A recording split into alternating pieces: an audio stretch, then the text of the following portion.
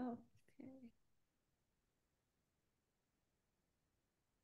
Global warming, bringing the armadillos north. Uh, Chris, you want to give it one more minute and then start off? That that sounds good.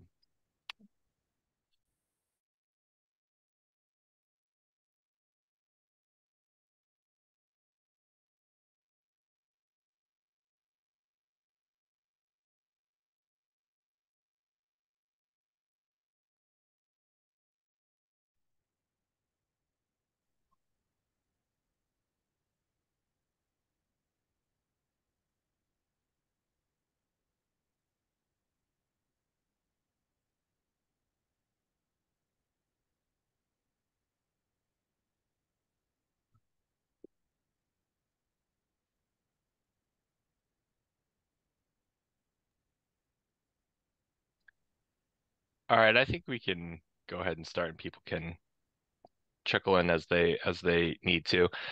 Welcome everyone to our first in a series of data journalism training. Uh, we're very excited to spend Midwest Newsroom's first, we're calling it a semester, uh, focused on this topic. Um, there will be, I believe we're going to do three of these. This is our first one. Uh, Daniel Wheaton will be leading us uh, primarily, so we're very excited about it. The next one, just to put this on your calendar, uh, it could change, but uh, just as a heads up, we're looking at the end of February and the end of March for the number two and number three uh, parts to this. So February 28th and March 27th. Look for emails and Slack messages about that once it's solidified. Um, also, a heads up uh, for reporters, we do have a virtual summit happening February 15th uh, where we'll have a wonderful guest speaker, Sasha Pfeiffer from NPR, and a lot of other things, as you know, uh, to kind of kick it off, where we can have a uh, conversation among reporters and topics and sources and beats uh, to see where we can cross pollinate and collaborate more um, on that level. So, um, if you haven't gotten an invite for that, please reach out to us and we'll make sure that you see it. Um, let's see here. Uh, so with that, I want to introduce our Midwest Newsroom data journalist, Daniel Wheaton. He is based at Nebraska Public Media. Daniel, take it away. How's it going, everyone? Welcome to Data Journalism 101, the Data Viz episode. So this is kind of an introductory uh, discussion of the hows and whys of data visualization.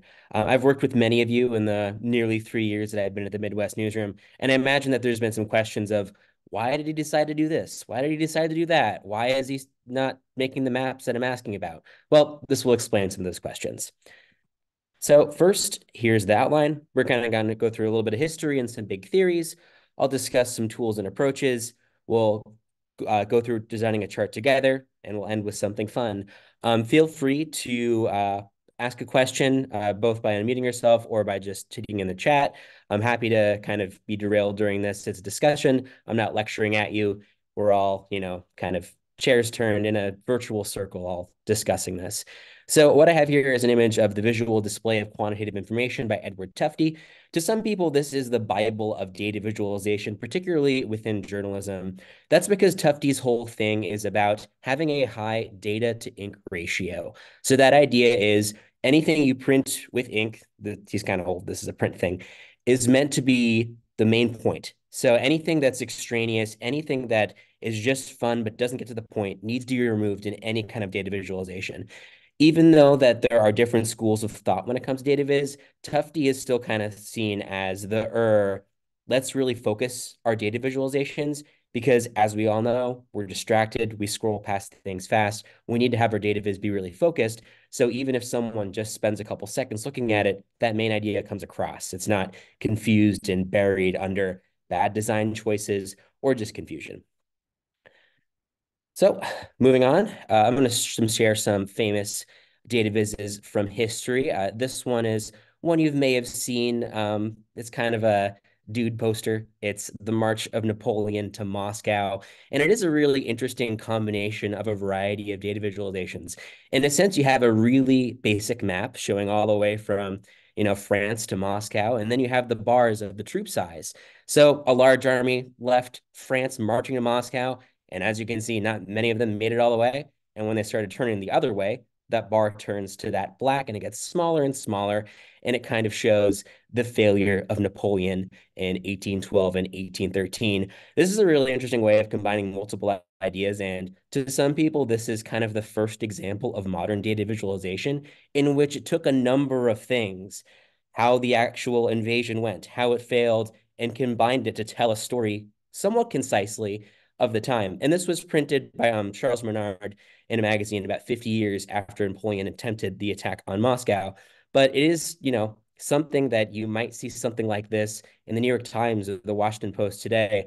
Obviously, they probably wouldn't label it this way, but the idea of combining multiple ideas into one in one design kind of theorem is kind of the point of Tufte and another of data visualization scholars.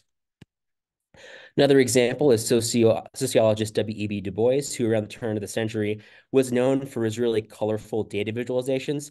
So we did a lot of research about the disparities between Black and white Americans at the turn of the century. And just look at how kind of clean and focused these are. Like these are hand-drawn data visualizations. Like imagine how many drafts he went through with that spinny one. But it goes to show that good design principles are timeless. And in both of these examples, it's important to have that consistency. They all have the same fonts, the same colors. It all says the same thing. So you focus on the content, not the style. It's not distracting. It basically has a central thesis of how do I communicate with space to get someone to understand whatever it is I'm trying to communicate. So now that we've kind of established the kind of vintage data visualizations, we can move on to some of the more technical stuff. I'll kind of walk you through the variety of tools that you could use and that I use to create a variety of data visualizations. So the most common one, and the one that was the main tool until about recently, is Adobe Illustrator. It's ideal for print because you can just draw on there like anything, like any other tool. So what I have here is a screenshot of the graph type. So if, I don't know if you're familiar with Adobe Illustrator, but on the left-hand bar, you have all your options. You click a button and it pops up this menu in which you can select the type of data visualization you want to create.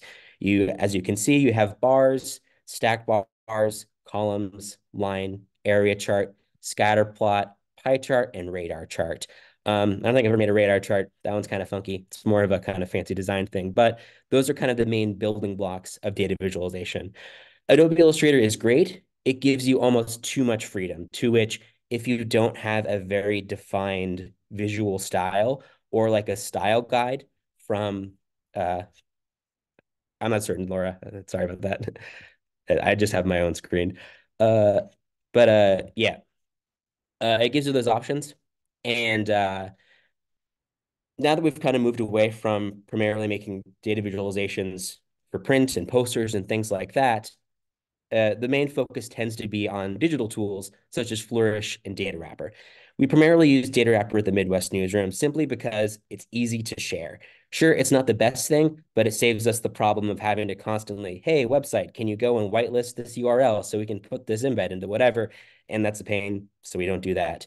Flourish is also really good, but Flourish is kind of like Adobe Illustrator in which it gives you a little bit too many options. So I really wouldn't recommend Flourish for someone who's just beginning. But if you have data that you want to explore, if you have something that's kind of confusing, um, Flourish can be helpful to, to use. But again, I recommend going with Data DataWrapper simply because it's kind of the, the main one in which the Midwest Newsroom uses and is uh, kind of has the same design uh, concepts that news in general does have. There's also Tableau, which you've probably encountered dealing with health or real estate data. It's kind of business focused. It's kind of meant for making those dashboards that CEOs really like. It's useful, but again, it gives you too many options and it can be kind of slow to load. So it's one of those things of if you get a big data set from a source, something like Tableau or Flourish can be helpful for you to figure out, okay, what does this mean? But it wouldn't necessarily publish anything with those tools. And then there are also the kind of real social scientist statistical things, such as the packages within R and within Python. Those are super useful. But again, I really won't over to, uh, I won't go into that as well because we're not in uh, the coding part of data journalism, but it's good to know that they also exist. So uh, kind of going deeper into data wrappers, some pros and cons. As I kind of mentioned before, DataWrapper comes with this built-in design ethos. Their whole thing is they want to have data visualization that is explanatory. So we do a number of things uh, in data journalism that's exploratory. So asking questions of a data set, sorting, filtering, grouping, creating pivot tables, doing summary statistics, creating new ratios and population statistics. That's useful for writing, but not necessarily for visualization. Data Wrapper is better once you've already decided what you want to communicate within creating your, your data story. It's about showing that to your audience. So Data Wrapper was actually created by someone who used to work at the New York Times uh, graphics team, Gregor Aisch. And the nice thing about it is that, as I said before, it's really easy to share the embeds across different sites. And given that we're a network, we're a ton of stations and collaborations, it worked great for us.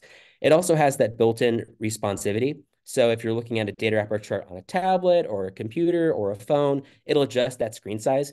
While if you created a static chart in Adobe Illustrator, that size is baked in. So if you're looking at something that has small type on a phone or a tablet, it can be difficult to read. Data Wrapper solves this by adjusting the font size and all that based on the viewport of whatever screen you're looking at. The cons, there are some limited things you are not allowed to do in Data Wrapper, but that's again the design ethos of Data Wrapper. It kind of guides you in the more Tuftian style, the New York Times style. There's also the chance that it could shut down someday because companies rise and fall. So there's a possibility that a lot of my work just disappear as it has in the past, especially my early career stuff. And it's also German. So sometimes you put in a number and it reads the period as a comma because that's how they do it in the EU. Weirdos. Just got to be aware of that. And there are also some limitations with mapping, just because mapping is complicated and expensive depending on how you do it. So Data Wrapper really limits you to a number of simple choropleth. That's the one with the color in polygon one, or some simple locator or point maps. So if you have a ton of points or a ton of polygons, Data Wrapper can't help you there. You need to use another free tool such as uh, doing yourself in Leaflet or within uh, Google Maps. So here's a little uh, look under the hood of what Data Wrapper has. So you notice there's a lot of columns and bars. The reason why that's the case is the human eye is basically a giant, we perceive things in a giant rectangle. That's why they're mostly bars, because that's the thing that our brain reads quickest, and we're able to compare the size of things. Because if you may have noticed, like with pie charts, for example, they're circular. If you have a pie chart that one has 25% and another pie chart has 33%, it's kind of difficult to see how close those twos are because those are weird kind of triangles. Our brain doesn't think in triangles, it thinks in squares. But if you saw two bars, one was like 133, 25, our eyes would be able to guess quicker, oh, that's about a quarter, that's about a third. So that's why there are so many bar chop options within Data Wrapper which depends on the kind of data you have. So the simplest is just the regular bar chart, just numbers of things. Then you have stack bars in which you have numbers of things, but there's two categories. So let's say you're comparing the rates of some health statistic between different populations. And the same thing goes with groups and splits. It's uh, about the relationship between the different variables within the data. And then you also have the things that introduce temporality, such as lines and area charts. And you also have more comparisons, range, arrows, and dots. And scatter plots are useful if you have two variables that you want to compare within space X and Y. But when you're choosing a, cart, a chart, I recommend just use your journalism gut. Simplicity is best. It can be tempting to get really fancy with data visualization, but again, charts should explain, not confuse. Sure, not everything should be a bar, but more things should be a bar than you think. But it's important to have the other options as well like for instance, if you're comparing two values that aren't terribly different, I don't mind a pie or a donut. But if you had something that had like five or six variables, a pie or a donut really wouldn't make sense. It would be better to do area charts or stack bars or things like that. But when you are looking at some data and you're not certain what to visualize, that usually means you haven't spent enough time to fully understand your data. Because once you understand the universe, what you're working with, this should somewhat be intuitive. So if you get to the point of, hey, I don't know how to design this, I'm confused, that's a sign you need to spend more time with your data or ask a source about how we need to understand this in a little bit uh, different way. So visual design is about choices. So I brought this famous example of a strange choice. Um, this is literally a chart that USA Today put together uh, in 2011, which shows uh, this heat index I don't know why they chose to go with that joke, but they did.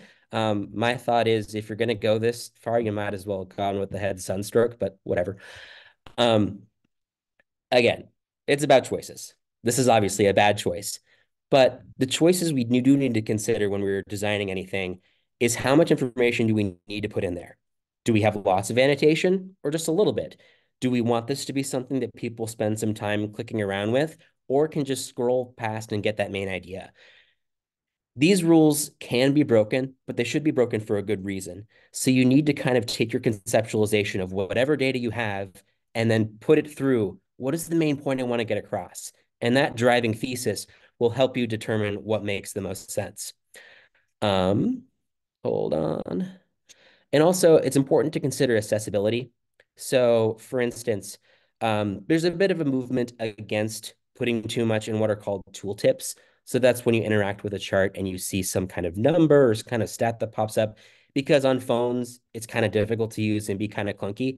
And especially people who are visually impaired, that's even more difficult to do. So that's why, like, when I have a lot of information that has, you know, tooltips or information within a map, it's better to kind of show that in the more obvious place to which it shows at first rather than burying it because there are some people who believe you shouldn't put anything in a tooltip at all because people won't look at it. But again, you need to consider your audience. It's important to think about how we make things that are accessible, and that includes people who are visually impaired, people who are colorblind. All of those things are something that you should consider. And Data Wrapper does help you kind of avoid some of those mistakes. It has a little warning if your colors are too close and things like that. But it's always important to consider, especially given that we're public media, everyone should be able to consume our content. So therefore, all of our stuff should be accessible. So uh, we'll now move on to the next portion, which is basically a walkthrough of design choices. So kind of what I discussed earlier with the different choices we have to make with our data and our understanding of visual design, but breaking it down piece by piece for something we actually published. So uh, this is the chart from our Vinebrook investigation that we published last spring. So this is kind of the summary statistics of all of the information that we gathered for this story. So its base is census data, which is both the percent of white people living in a given census tract and the median household income in the census tract. So that's the two X and Y axes. And then the colors of the dots are the number of properties that this company purchased in that specific census tract. So when you put these two variables together, you can see the relationship between the two of them, in which in general, Vinebrook tends to purchase homes that are generally non-white and generally not lower income, but low-ish income in the 40 to 55 income range, which makes sense because this company wants to purchase homes that are geared towards renters who make a little bit of money enough money to be able to purchase a single family home and, and rent a single family home, but not be, you know, buying the homes that are extremely desirable or incredibly large. So by combining all that information, we can put that together in one kind of general idea. And this does communicate, oh, this is what this company wants to purchase. It wants to purchase homes that are nice enough, but not the nice dish. So uh, moving on to the data. So this data was hand generated uh, from a spreadsheet that we created while we were reporting. So I exported that stuff from the US Census. I joined it with another data set and then using some spatial tools was able to count the number of properties in each census tract to generate those three variables. And I, of course, had to clean and standardize this information from these various sources. The census is relatively easy, just kind of clunky and large, and they use files that are kind of annoying, but relatively easy to work with. It was dealing with the nine different counties. That was the pain because, of course, every county has to do something different. And of course, one county wanted to charge me and all that fun stuff. But I was able to standardize it. So it was just simple, simple spreadsheet with those main variables. And it's also important to mention that most real world data is messy. You have agencies that don't know how to do it correctly. They put it in weird formats. They maybe hand wrote it. It could be in a PDF. There's usually some cleaning that always happens. So to discuss the structure, the rows, like I said before, the census tract, the count of homes, income, percent white, and I also had the market, so I could do that color coding as well. And then the columns were each record, and there were 287 of them. So uh, this is kind of an aside, but something important to mention. Size is something that you usually don't have to worry about when you're creating things within Data Wrapper, but if you're using a different tool, it's important to consider. So if I was doing a static print version of the thing you saw, I couldn't create that until the designer had given me the size of the artboard because the width and length and height of it determines how much space I have for the text. So rather than thinking about it in this way, it's also important to consider how does it look on your phone, which generally is 640 pixels or smaller. It's important to kind of come at DataViz from the idea of mobile first because we know that's when people read our stuff. So if it doesn't work on mobile, it doesn't work anywhere. You've got to make sure it works there on first. So in general, if you have too much data or it's too confusing, try to pare it down. And remember, size is important, phone first. And if you're running into size problems, that's kind of a sign you're trying to do too much. Maybe this is multiple charts. Maybe this is something that needs to be text instead. But remember, size is still very important. So uh, moving on, here's what it looks like inside Data Wrapper of how I did the styling of that chart we saw earlier. So we edited the axes by having the horizontal be income, the vertical being percent white. We used custom formatting for the labels to add the dollar sign, and STLPR gave me custom colors to make it look good on their site, which was great. And then I added opacity. So if we had two things that were um, overlapping, you could see both of them rather than the bigger one overlapping the other. And I also added the variable size. So the bigger circles indicated more properties and the smaller circles indicated smaller ones. So in a way, this is a very informationally dense graphic in which we have all of those variables all working together to communicate a point. And it's very much a game of how do I adjust all of these variables to get the main point I want to cross without being too confusing? Because if I took apart one part of this, if they were all the same color, if they were all the same size, you may not get the main idea I'm trying to get across. It's using all of those things in tandem to communicate the point that I'm trying to make visually. So even if you're just scrolling by the story at a glance, you get this main idea that there's this clustering of properties that fall in these criteria, which is the income and also the diversity of the census tract.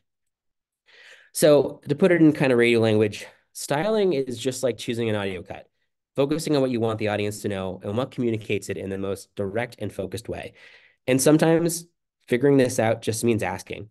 Um, when I was at the San Diego Union Tribune, I found it really helpful to go to people who didn't have any design knowledge, and I would just ask, hey, does this make sense to you? And if they were confused, that's a sign that I needed to do more work to communicate this better. And the same thing goes with, you know, pretty much any journalism tool. Sometimes it's it's best to ask someone who doesn't know anything about what you're doing. And if they're confused, need to do more work to make sure we're communicating the thing clearly to our audiences. So uh, here's an example of something I did back in the day, which was um, the indictment of former Representative Duncan Hunter. Basically, it was the guy who thought that he had more money and decided to use his campaign credit card for, uh, as you can see, almost everything. So he misspent a total of uh, $250,000, a good quarter million dollars on everything you see here. But uh, this is where I turn it over to you. Um, what are the, some of the design choices that I made in creating this? So if anyone, feel free to unmute and uh, say them. Um, there's no color. Why do you think? I, why do I think there's no color or why do I think there should be color? There's no color because this is the one that ran in the inside page, which didn't have Oh color. Oh my gosh, yeah. Yep. But I did use different grays to communicate the difference, which is what you have to do in that scenario. Anybody else? Yep, grouping. Yeah, so this is what's called a tree map, which is basically how a pie chart should be, basically. This is basically a giant square pie chart to which you see the subsections of each thing in which it all adds to the whole. So this is a good example of, of, an, of a chart in which both the part of the chart, so the individual spending, the tuition, the airfare, and vacations, is equally as important as the entire group. So this both balances what the top level thing is and what the minutia is. So when I made this version, I also made a version in Tableau, which you could hover and see the specific line item of the indictment and what that they spent on it.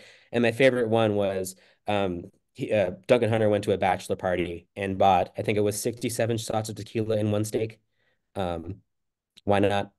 Uh, but yeah, it, it was a way to, to get all that information all together. But again, the design choices that I mainly made here was how do we communicate just the sheer not caring about the rules here? And I do think when you break it down using space and using the categories, you could see the sheer level of not caring about the rules that this former congressman had.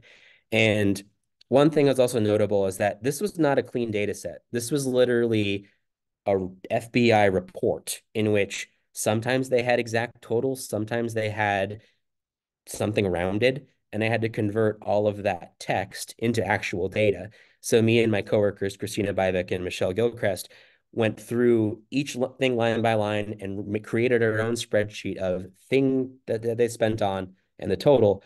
And that's how we created that. And that's also why you have this huge methodology of us explaining what we did, because obviously it's not something that the hunters were excited to see printed in the newspaper. But when you have to, you know, get your hands dirty data wise, you need to kind of explain the decisions that you made, which is why it's the most long methodology you've probably seen in a long time. All right, any other thoughts before we move on to the next section? Take that as a no. Cool. Uh, so this is the fun part. Why is this chart bad? What do you think?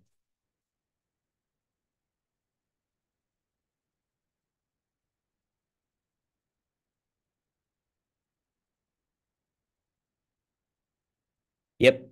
Uh, hex maps are useful when you want to kind of obscure the geography.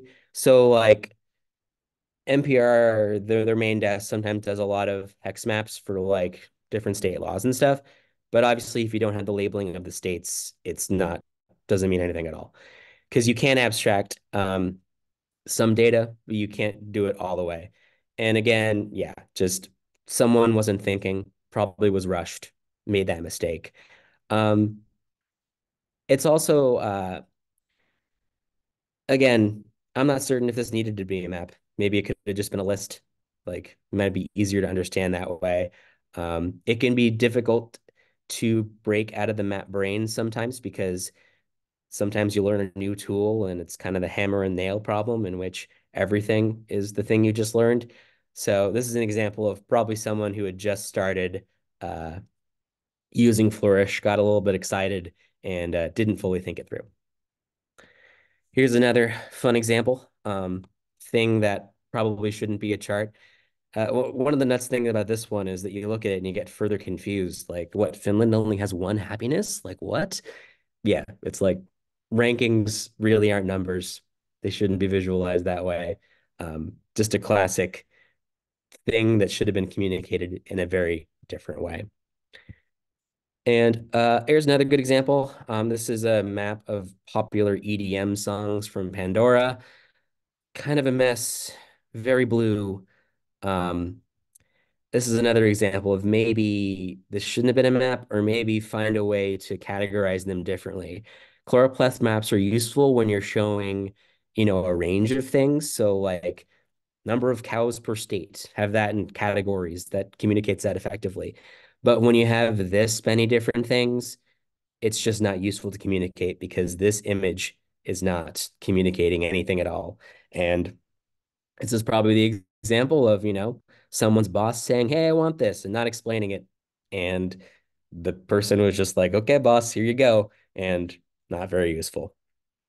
But again, these are just simple mistakes that can easily be corrected by just thinking it through, pausing, asking the question, Does this make sense?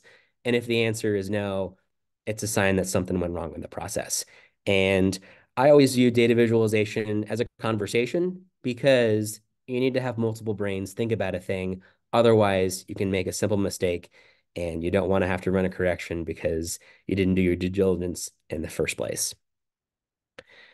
All right, so that's the main section of everything. I'll uh, have some suggestions for books to learn more about this subject. Um, the Wall Street Journal Guide to Information Graphics is really good for the kind of Tuftian, how do we just communicate things effectively? Um, the book is a little bit dated. It's kind of uh, built in the kind of uh, Adobe Illustrator age, but it's still important to kind of have those basics. Um, the, visual display of quantitative information was the one I mentioned earlier, which is also a great read and is more meta and conceptual. And a more modern one is How to Lie with Charts by Alberto Cairo, a nice uh, read on how to um, both spot sketchy statistics and create them for yourselves.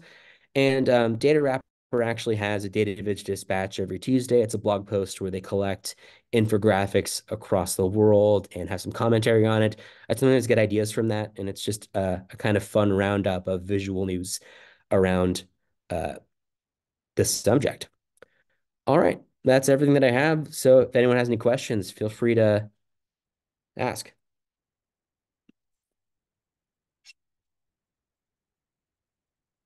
We won't have questions until we need you to do something specific. Usually how it goes.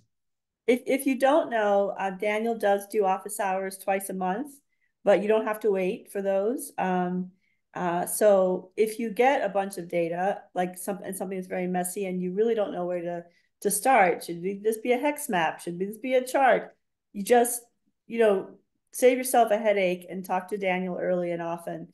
Um, and um, you know, I think that a data state of mind is a is a really important thing when you're trying to show people in a very um, clear way a trend or a thing. And I wonder, Daniel, if you can talk a little bit about like what would be a good mental checklist for someone who's working on a story. It has numbers, what what what is what are the questions they should be asking about whether this this needs a data visualization aspect so if you have more than this is kind of arbitrary but more than like three or four numbers that are important within your nut graph that's a sign that maybe it should be visualized. Because on the opposite end of if i don't have enough there's nothing i can really make. So you know if you only have two three points that's not really useful. But if you need to compare something, or if you need to really draw attention to something, like let's say, you know, an event or a disease or something is just way higher than something else, that's worth visualizing because we know that readers take data visualizations a bit more seriously than text. Um, it is just a, a more um, has more ethos, I guess, to use the rhetoric term.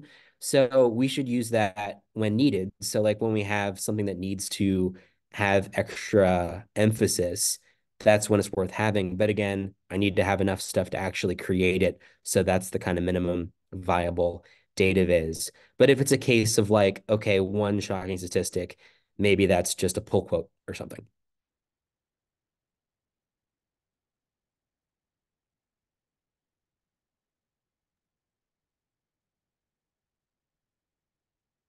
What other questions you all have? You must have some questions. I'm going to show you a recent story that has some very simple things that I always want a map. So I'm that person who always wants a map. So Daniel is like, ah, it doesn't need to be a map. So I'm going to show you something that we did recently that was extremely elegant and um, let's see, yes, and clear.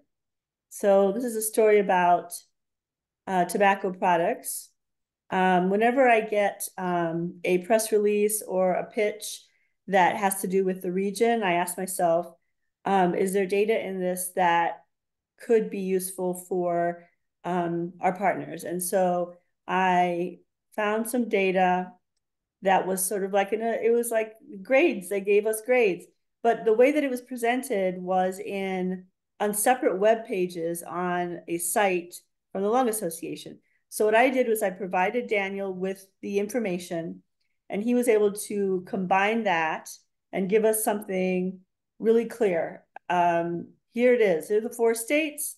Here's how they're doing. Here's what those things mean.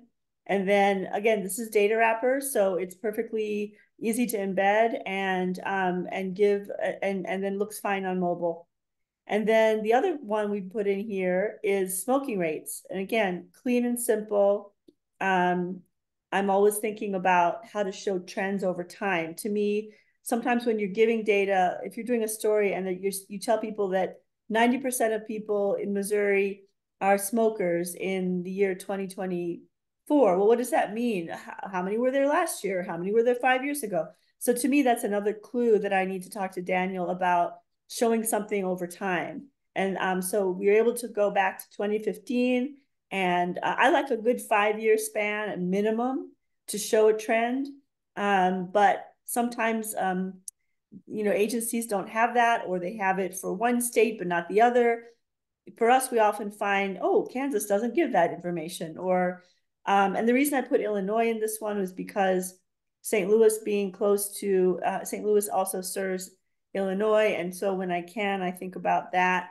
Um, but those, this is just a simple story. This was a spot on the radio, but then we can also deliver more to the the uh, the consumer, the audience, if they want it. Um, and I thought three three graphics would be too much for this, so I just did a little bullet point thing down here for the other um, for the other uh, issue that I wanted to point out, which was high school tobacco use.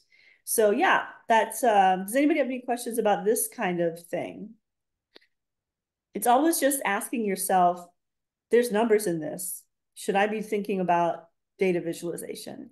That's a key question to ask yourself in my book. I Was know there, that was there other reporting, Holly, that went into that? Or, I Yeah, mean, so as you can see, I interviewed, um, I interviewed, uh, Yolanda Richardson. I interviewed, uh, who was it that I interviewed? It was, uh, I, she's the person from the campaign for tobacco-free Amer, uh, kids. And then I also interviewed, who's the other person? Yeah, so I did a couple of interviews. Um, I used the data, um, and I, um, linked to the, uh, study. Yeah. And, and sometimes, oh, here it is, Harold Wimmer. One of the things I love is that a lot of agencies will give you things on an embargo basis. If you get a package of information and data on an embargo basis, you've got a spot for Thursday that you can have data, a data visualization if you give it to Daniel as soon as you get that, that embargo data. And then you have a story ready to go right when the embargo lifts for digital. And you can have it scheduled to run, you know, at 4 a.m. or whatever time your um your station um does uh you know publishes stuff in the morning. Let me see if I can find another good example of this. Um, while you are, I have a question.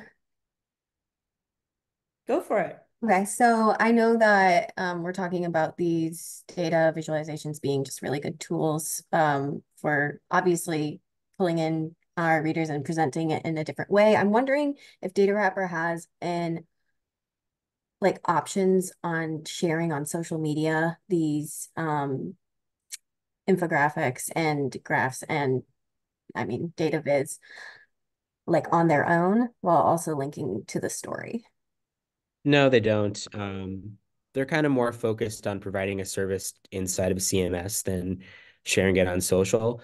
But it's possible to create templates like on Canva or Adobe Illustrator in which you can convert um, your charts and maps into something for uh, social media.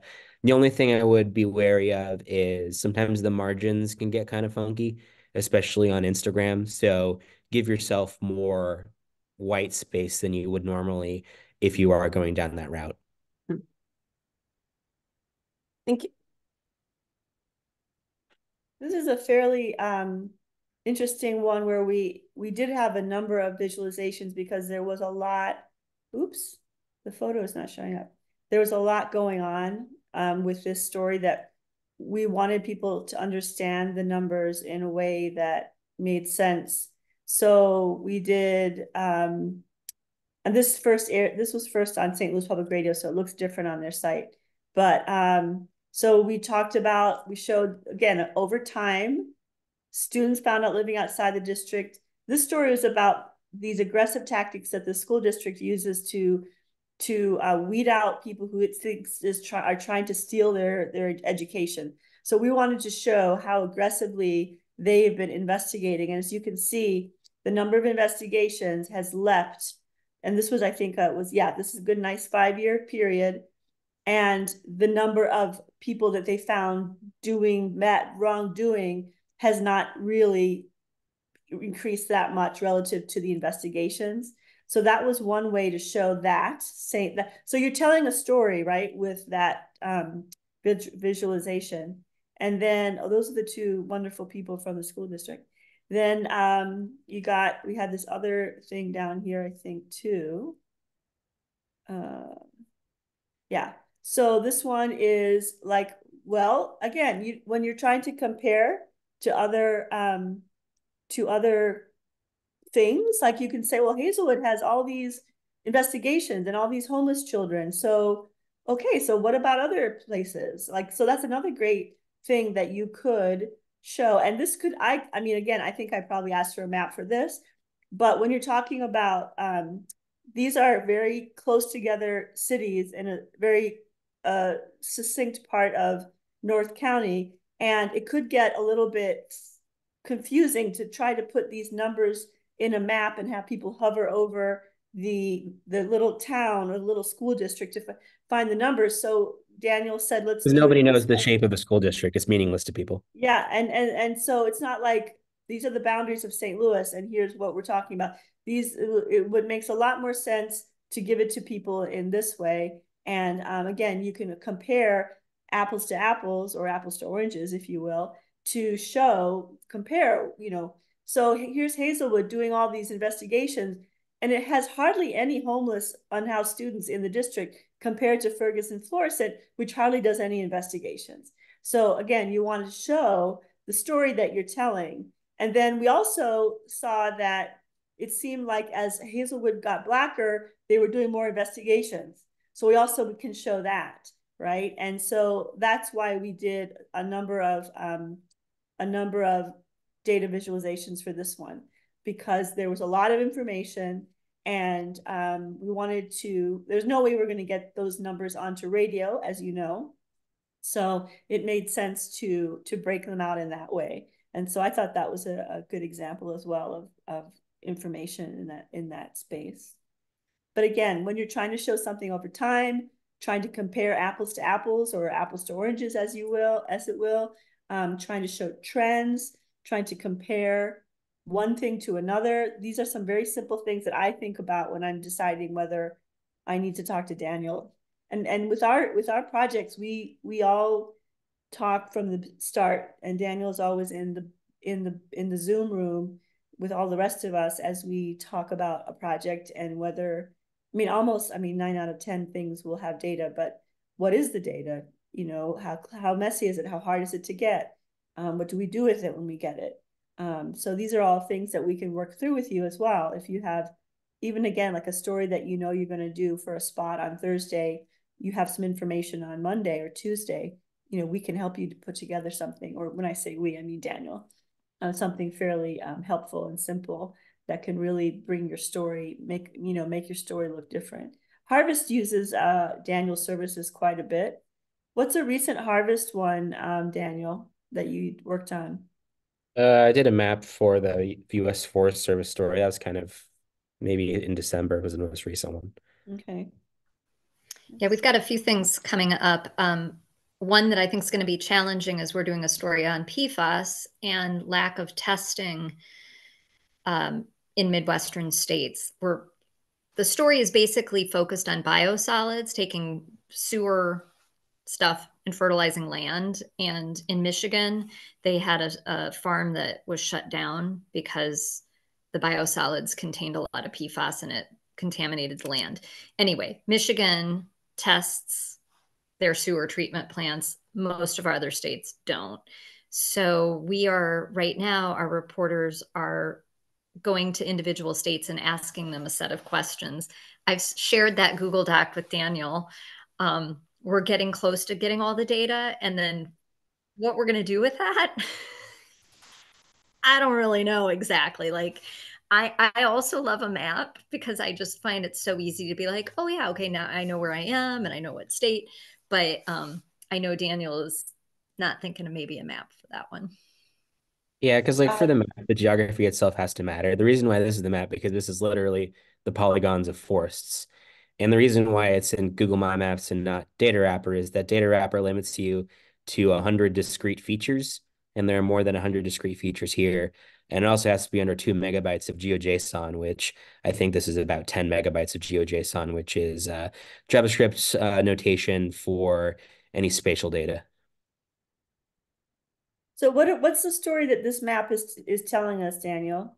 Uh, how old the forests are. So like basically the US government kind of views forests as investments. So when they get, I think it's older, they're more likely to chop them down when actually it's important to have a mix of old and young forests for reasons, right? so how do we It's, know yeah, on it's this all about one carbon capture. reasons? How do we know what color represents what here? Do we just we do we do the have to click colors mean anything? You have to click on one. Okay, so let's click on this one and see what we get. How cool is Yeah, that? think- It just reveals all this information to you.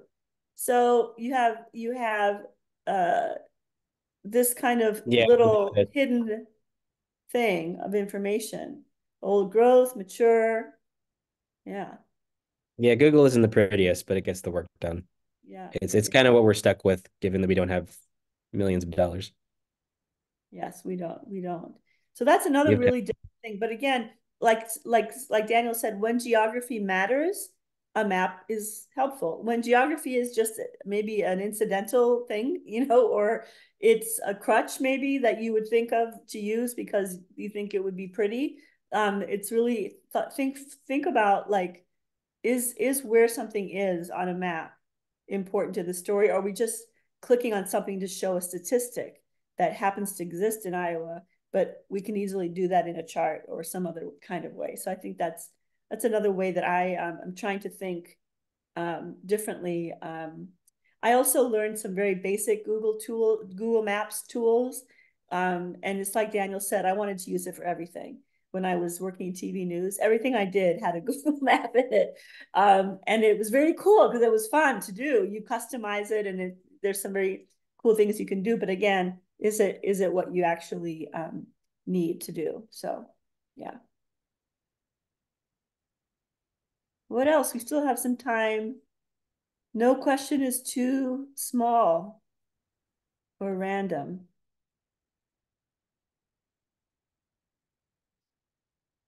Nothing?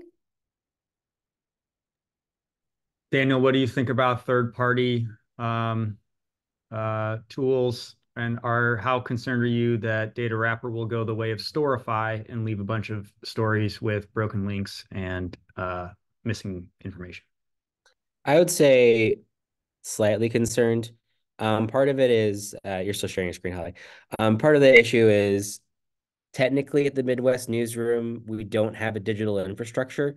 Like if we were one thing or if NPR was more better with connecting, I'd be more okay with creating kind of a tool that like Brent had with um with daily graphics, but because we don't have that and I'm in the station that doesn't have any digital infrastructure that's useful, um, means that I'm kind of stuck with Data Wrapper for now. I mean, theoretically, yeah, I could create everything static, which is fine, but again, it becomes in that responsivity problem. So it's kind of like in each thing, you nothing's perfect. So it's like pick your poison, and I'm sticking with the the, the um, Data Wrapper poison for now. But you know, if it comes down to it, maybe it's time to start doing some more Illustrator things. Are there any terms or things that that that were mentioned that Daniel mentioned that you didn't understand or would like more explanation on? I think you were pretty clear in speaking non non-data journalist language, but I know that there might be some people that have questions about that. Anything there? Okay. I, I have one question for you, Daniel, and this is um, on topic, but a little different is what does the landscape look like with AI generated data visualization right now? And is what's a conversation like that in in your world?